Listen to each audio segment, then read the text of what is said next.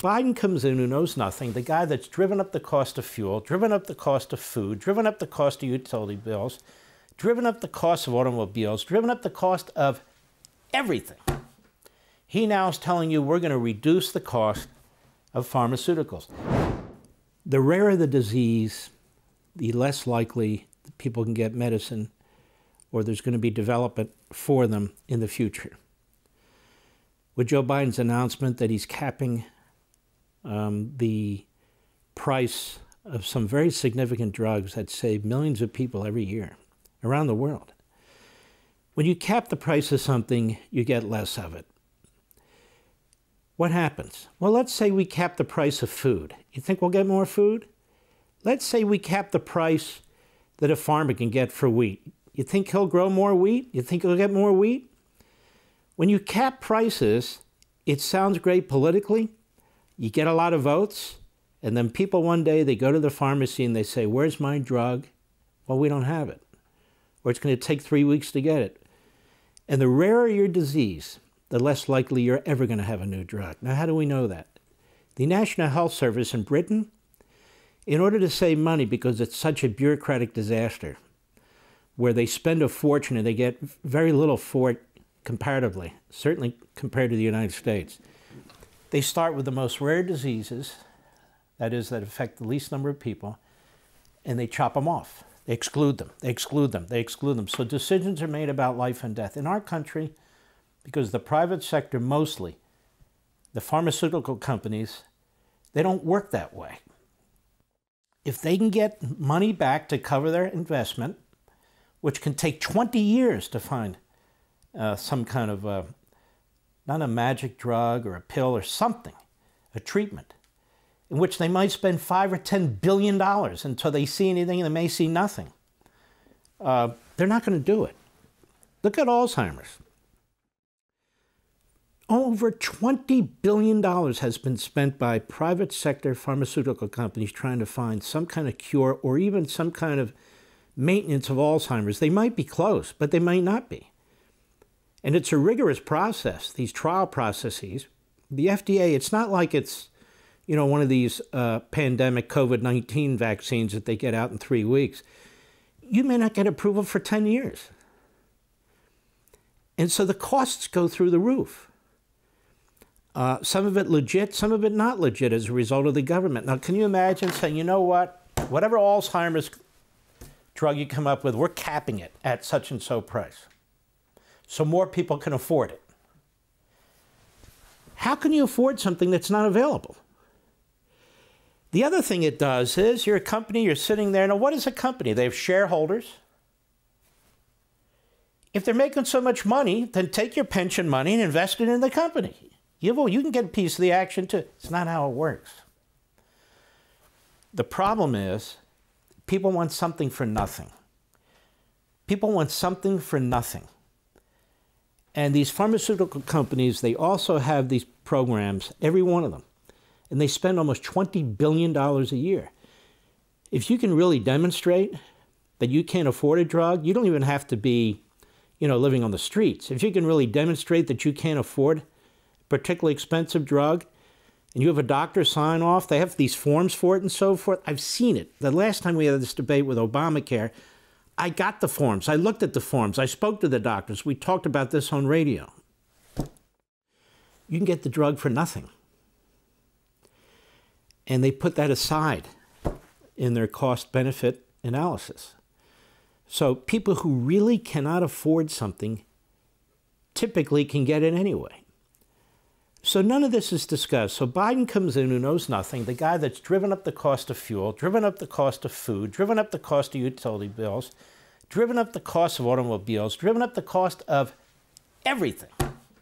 He now is telling you we're going to reduce the cost of pharmaceuticals.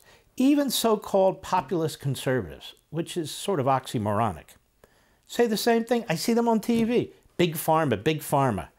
Now, why do they call them big pharma? So you hate them. No, it's big government.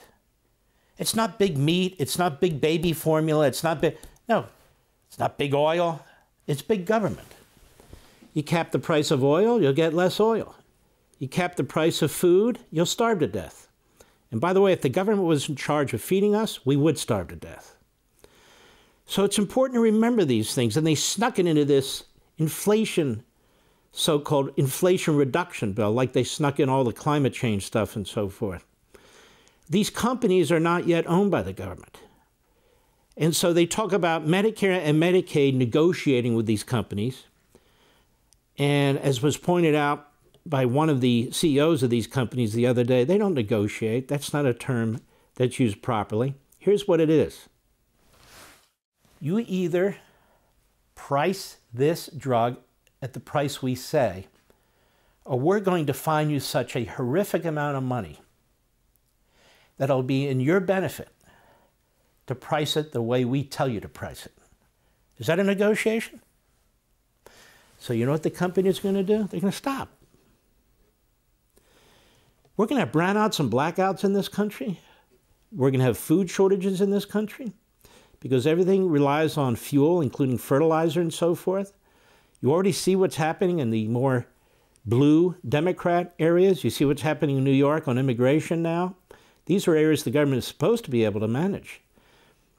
You see the price of food already? Wait until you go to the pharmacy and they say, I'm sorry, Mr. Smith.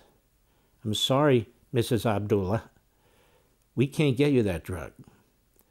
Or we can't get that drug anymore. Or they're not producing that drug anymore. What are you going to do then? Oh, you'll blame Big Pharma. No, you blame the government, Democrat Party, and Biden. This is a disaster waiting to happen. It absolutely is a disaster waiting to happen. Um, one of the dr- drugs is a, a, blood thinner that I use, as a matter of fact, for people who have heart issues and stroke issues and all the rest of it. The average payment every month is 45 to $55. What's that come to? Dollar and a half a day? Okay, they're capping them. Why? Because that's how they get the most votes. They're looking at these drugs and they're figuring out how many people take them. Three million people in the United States take that drug. Three million. It was developed in 1995 and it wasn't approved till 2012. Okay, that's a long time. And it replaced warfarin, which was a notoriously difficult drug to, to use. If you use too little, it's ineffective. If you use too much, it can cause uh, internal bleeding. And so you needed constant blood work and monitoring by doctors. And so it was replaced, and this new drug, which has various names, you know, depending on how they market it, um, you don't even have to track it. You don't have to have blood work. It's a perfect drug. It's a blood thinner. Millions of Americans are on blood thinners. So they don't get heart attacks. They don't have clogging going on. They don't get these strokes and so forth and so on. Well, that's one of the drugs he's capping. It's one of the drugs he's capping at 45 to $55 a month. And they're doing it because Medicare and Medicaid control about 35 to 40% of the market. Because senior citizens use medical care and drugs, you know, far more than any other part of the population from an age perspective. For obvious reasons, you're getting older and your health deteriorates slowly, some people quickly. And in order to save money, Medicare and Medicaid are going broke because of the way the government runs them. So they're squeezing doctors, they're squeezing hospitals, and now they're going to squeeze, squeeze pharmaceutical companies. You're going to wind up with a second or third class medical care system where everybody will have access, but the question is access to what?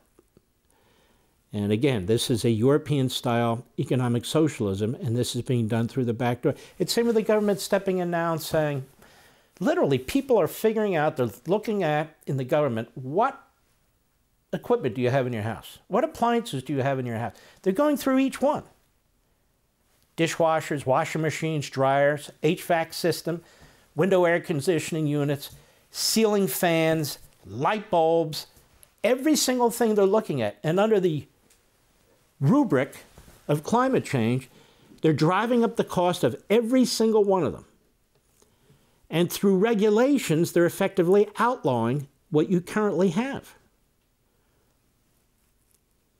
This is no way to run an economy. This is no way to run an economic system. We got prosperity. We have all these beautiful things, these technologies, these medicines, abundance of food, and all the rest, or at least we've had, because of the private sector. The government steps in, we're going to starve to death. We're going to freeze to death in the winter. We're going to sweat to death in the summer. They can't manage forests. They can't manage the border. They really don't want to. They can't manage the currency and inflation. What the hell can they manage? And yet, they're ubiquitous. They grab everything they can. We're supposed to be a limited federal government. This is a limitless federal government. Want to see more? Sign up for Levin TV.